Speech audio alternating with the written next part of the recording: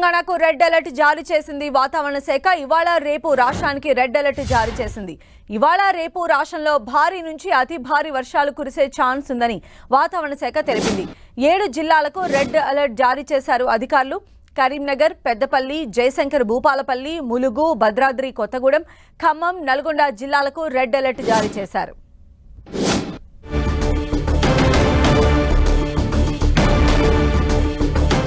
హైదరాబాద్ వాతావరణ కేంద్రం నుంచి మా ప్రతినిధి కిరణ్ మరిన్ని వివరాలు మనకు అందిస్తారు. కిరణ్.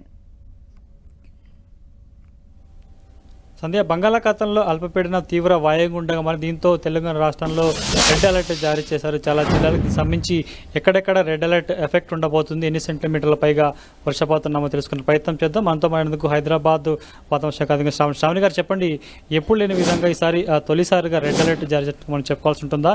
ఈ జిల్లాకు సంబంధించి ఎన్ని సెంటీమీటర్ల వర్షపాతం నమ్మదే అవకాశం ఉంది? రెడ్ అలర్ట్ మనం గతంలో దాదాపుగా జూలైలో కూడా ఇవ్వడం జరిగింది. మనకి నైరుతి ఋతుపవనాల కాలంలోని ఈ అల్పపీడనాలు ఏర్పడడం అనేది సర్వసాధారణంగా జరుగుతూ ఉంటుంది. మనకి అల్పపీడనంతో పాటుగా ఇది వాయుగుండంగా కూడా మారడం అయితే జరిగింది. ప్రస్తుతానికి మనకి తూర్పు మధ్య బంగాళాఖాతంలో ఏర్పడిన ఈ అల్పపీడనం నిన్న తీవ్ర అల్పపీడనం నుంచి ఈ రోజు చూసుకున్నట్లయితే వాయుగుండంగా మారి దాదాపుగా ఎనభై కిలోమీటర్ల విశాఖపట్నానికి నూట ఇరవై కిలోమీటర్ల మనకి కళింగపట్నాన్ని దీనిగా కేంద్రీకరించబడింది. ఇది వచ్చే రాత్రికి అంటే దాదాపుగా పన్నెండు గంటలకి ప్రాంతానికి అర్ధరాత్రి పన్నెండు గంటల ప్రాంతానికి కళింగపట్నం గోపాల్పూర్ మధ్యలోని తీరం దాటే అవకాశం అయితే కనిపిస్తుంది. తీరం దాటే సమయ ఈ సమయంలో మనకి గాలులు బలమైన గాలులతో పాటుగా అధిక వర్షపాతం కూడా నమోదే అవకాశం కనిపిస్తుంది.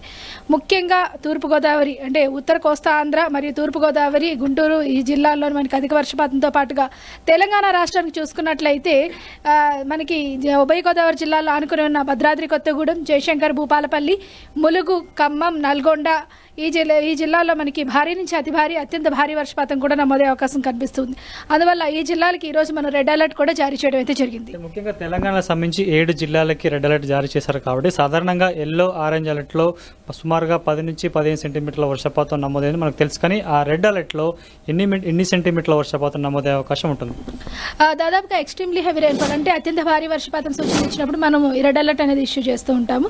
అంతేకాకుండా మనకి భారీ వర్ష అతి భారీ వర్షపాతం కంటిన్యూస్గా మూడు రోజులు కూడా నమోదైనప్పుడు కూడా రెడ్ అలర్ట్ ఇష్యూ చేస్తాం. ఈ రోజు చూసుకున్నట్లయితే మనకి అత్యంత భారీ వర్షపాతం గత ఇరవై సెంటీమీటర్ల కంటే అధికంగా నమోదయ్యే అవకాశం ఉన్నందున ఆ జిల్లాలకి రెడ్ అలర్ట్ అనేది ఇవ్వడం జరిగింది. ప్రస్తుతానికి ఒకసారి మ్యాప్లో రెడ్ అలర్ట్ సంబంధించి ఎఫెక్టెడ్ జిల్లాలకు సంబంధించి చూపించే ప్రయత్నం కూడా ఒకసారి చేయండి. ఎందుకంటే రెడ్ అలర్ట్ అనే సంబంధించి కూడా ఎక్కువ వర్షపాతం ఉంటుంది ఎఫెక్టెడ్ జిల్లాలు ఉంటాయి కాబట్టి అక్కడ ప్రజలు ఎలాంటి జాగ్రత్త తీసుకోవాలి అప్రమత్తంగా ఉండాలని. దాదాపుగా నేను చెప్పిన విధంగా మనకి ఈ కోస్తాంధ్రాన్ని ఆనుకొని వాయుగుండం ఉండడం వల్ల ఇది అర్ధరాత్రి తీరం దాటే అవకాశం ఉన్నందున దీనికి ఆనుకుని ఉన్న మనకి ఉభయ గోదావరి జిల్లాలు అలాగే గుంటూరు. దీంతో పాటుగా మనకి ఖమ్మం భద్రాద్రి కొత్తగూడెం జయశంకర్ భూపాలపల్లి ములుగు అదేవిధంగా మనకి నల్గొండ ఈ జిల్లాల్లో మాత్రం మనకి అత్యంత భారీ వర్షపాతం నమోదే అవకాశం ఉంది. అలాగే కొన్ని ఉత్తర తెలంగాణ జిల్లాలు నిజామాబాద్ కానీ కామారెడ్డి కానీ కొన్ని జిల్లాల్లో మనకి భారీ నుంచి అతి భారీ వర్షపాతం నమోదే అవకాశం ఉంది. అలాగే కొన్ని దక్షిణ జిల్లాల్లో కూడా భారీ వర్షపాతం నమోదే అవకాశం అయితే కనిపిస్తుంది అనమాట ముఖ్యంగా హైదరాబాద్తో పాటు జిహెచ్ఎంసీ లిమిట్స్ రంగారెడ్డి మేడ్చల్ వికారాబాద్ జిల్లాలో ఆరెంజ్ అలర్ట్ అంటున్నారు. కాబట్టి అలర్ట్ ఎండలు ఉండే అవకాశం ఉంది. ఏంటి? ఆ ఆరెంజ్ అలర్ట్ ఎందుకంటే మనకి హైదరాబాద్ సిటీ పరిసర ప్రాంతాల్లోని దాదాపుగా భారీ వర్షపాత సూచనల వల్ల కూడా కొద్దిగా లో లోయింగ్ ఏరియాస్ అంటే లోతట్టు ప్రాంతాలు కొద్దిగా మునిగే అవకాశం ఉన్నందున భారీ వర్షపాత సూచన ఉన్నప్పటికీ ఆరెంజ్ అలర్ట్ అనేది జారీ చేయడం అయితే జరిగిందనమాట ప్రస్తుతానికి వాయుగుండ సంబంధించి కూడా కొంత మీరు తీవ్రపడిందని చెప్తున్నారు. కాబట్టి దీని ఎఫెక్టెడ్ ఎన్ని రోజులు ఉండే అవకాశం కనిపిస్తుంది? ముఖ్యంగా తెలంగాణ జిల్లాలకు సంబంధించి మిగతా జిల్లాలకి విస్తరించే అవకాశం ఉంటుందా? ఏంటి?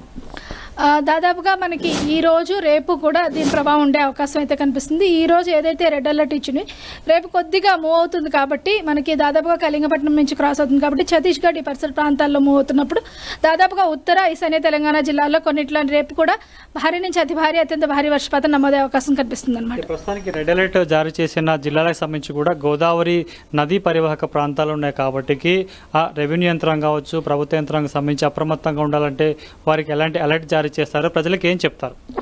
దాదాపుగా ముఖ్యంగా గోదావరి అంటే లోవర్ గోదావరి బెల్ట్లో ఉంది కాబట్టి ఈ ఏరియాస్లో మనకి దాదాపుగా వరదలు వచ్చే అవకాశం ఎక్కువగా కనిపిస్తుంది. ముఖ్యంగా మానేరు కానీ మిడ్ మానేరు కానీ ప్రాజెక్ట్స్ కూడా నిండుకునే అవకాశం కనిపిస్తుంది కాబట్టి దానికి తగ్గట్టుగా అలర్ట్స్ వార్నింగ్స్ ఇష్యూ చేయడం జరిగింది. అంతేకాకుండా ఇంపాక్ట్ బేస్డ్ ఫోర్కాస్ట్ ద్వారా అంటే ఆయా జిల్లాలను ముఖ్యంగా ఎఫెక్ట్ అయ్యే అవకాశం ఉన్నందున ఆయా ప్రదేశాలకి లోతట్టు ప్రాంతాలు మునిగిపోయే అవకాశం అలాగే పరివాహక ప్రాంతాలు ముఖ్యంగా ఈ లోద లోవర్ గోదావరి పరివాహక ప్రాంతాల్లోని తగిన జాగ్రత్తలు తీసుకోవాల్సింది కానీ యంత్రాంగానికి డిజాస్టర్ మేనేజ్మెంట్కి అలాగే రాష్ట్ర ప్రభుత్వానికి కూడా అందించడం అయితే జరిగిందండి. ముఖ్యంగా ఆరెంజ్ అలర్ట్ సంబంధించిన హైదరాబాద్తో పాటు రంగారెడ్డి మేడ్చల్ వికారాబాద్ జిల్లాలు ఉన్నాయి కాదు ఎందుకంటే సాధారణంగానే ఈ జిల్లాలో చిన్నపాటి ఒక ఐదు పది నిమిషాల పాటు వర్షం పడితేనే కూడా రోడ్లను నిండిపోయే పరిస్థితి ఉంటుంది కాబట్టి ఆరెంజ్ అలర్ట్ ఉన్న నేపథ్యంలో ఇక్కడ ప్రజలు ఎట్లా ఉండాలి? ఏంటి ఏం సూచన చేస్తారు? దాదాపుగా జిహెచ్ఎంసీ పరిధిలో మేడ్చల్ మల్కాజ్గిరి రంగారెడ్డి హైదరాబాద్ పరిసర ప్రాంతాలు చూసుకున్నట్లయితే మనకి కొద్దిపాటి వర్షానికి లోతట్టు ప్రాంతాల్లో కొద్దిగా వరద చేరుకునే వరద నీరు చేరుకునే అవకాశం ఉంటుంది కాబట్టి ఈ జిహెచ్ఎంసీ పరిధికి మనం ఎవ్రీ వన్ అవర్ కూడా అలర్ట్స్ ఇస్తూ ఉన్నాము. కంటిన్యూస్గా అలర్ట్స్తో పాటుగా ఈ దీనికి ఆరెంజ్ అలర్ట్ అనేది టూ డేస్ కూడా కంటిన్యూ చేసే అవకాశం అయితే కనిపిస్తుంది. గత ఏడాదితో పోల్చుకుంటే ఈసారి వర్షాకాల సీజన్ సంబంధించి కావచ్చు ఆగస్టు వర్షపాతం ఎంత ఉంటుంది రానున్న రోజుల్లో ఎంత నమోదయ్యే అవకాశం ఉంది? ఆగస్టు వరకు చూసుకున్నట్లయితే ఇప్పటికి సాధారణంగానే నమోదవడం జరిగింది. దాదాపు పదమూడు నుంచి పద్నాలుగు శాతం వరకు. ఇప్పుడు ఏర్పడిన అల్పపీడన ప్రభావం వల్ల మనకి సెప్టెంబర్ మాసంలో వర్షాలు కూడా సమృద్ధిగా ఉండే అవకాశం ఉంది. మనకి సెప్టెంబర్ మొదటి వారం అంటే దాదాపుగా ఐదో తేదీ తర్వాత కొద్దిగా తెరిపించినప్పటికీ మళ్ళీ రెండో వారం నుంచి మళ్ళీ వర్షాలు పుంజుకునే అవకాశం అయితే కనిపిస్తుంది. గత ఏడాదితో పోల్చుకుంటే ఈసారి వర్షం కొంత అంత మనకి రికార్డు స్థాయిలో నమోదని చెప్పుకోవాల్సి ఉందా? సాధారణంగా ఈ ఏడాది వర్షపాతం వర్షాకాల సీజన్లో నమోదని చెప్పుకోవాల్సి ఉంటుందా? గత ఏడాదిలో చూసుకున్నట్లయితే మనకి జూలై మాసంలో అధిక వర్షపాతం అత్యంత భారీ వర్షపాతం కూడా నమోదవడం అయితే జరిగింది. కొన్ని ప్రదేశాల్లో వరదలు కూడా రావడం అయితే జరిగింది. కానీ కానీ ఆగస్టు మొత్తం చూసుకున్నట్లయితే చాలా వరకు డెఫిషియెంట్గానే నడిచింది.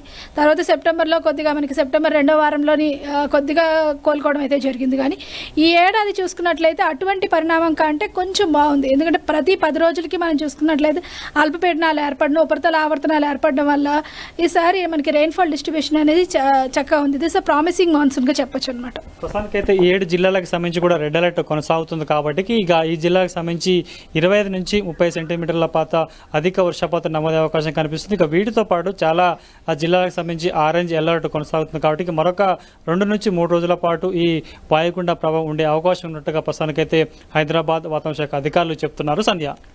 రైట్ కిరణ్ అది మొత్తంగా ఇవాళ రేపు రెండు రోజుల పాటు కూడా భారీ నుంచి అతి భారీ వర్షాలు కురిసే అవకాశం ఉంది.